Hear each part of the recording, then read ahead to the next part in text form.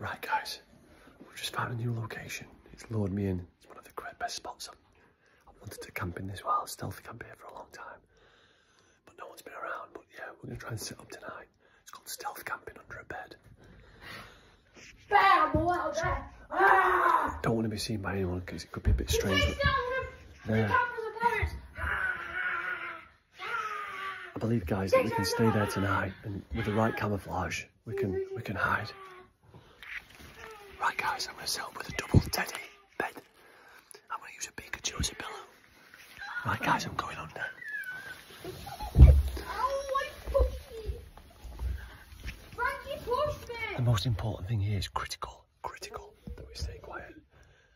But in a second, Dad, I'm going to see ain't how go to camping friends. tonight we'll be able to sleep, and I think Look at that. the light should go off about half past eight, or maybe nine. It's quite possible. It could be on later. So, right, let's see who's out there. Oh God! Oh God! Oh God!